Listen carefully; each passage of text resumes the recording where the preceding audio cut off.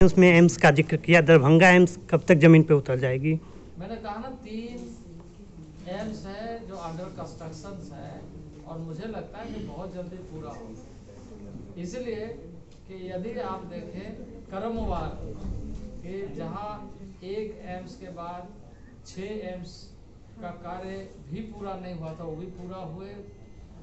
इसके अलावे और 20 टोटल यानी तेरह एम्स और संचालित हो गए बनने के बाद। कालखंड में अगर देखें तो ये भी जो है, क्योंकि वहाँ पर जहाँ, क्योंकि कॉमनली हम लोग कई बार चर्चा करते हैं, वहाँ ज़मीन की स्थिति अच्छी नहीं थी, देर से प्रारंभ हुई, इसलिए थोड़ा देर बने तो ये भी कंप्लीट हो जाए सर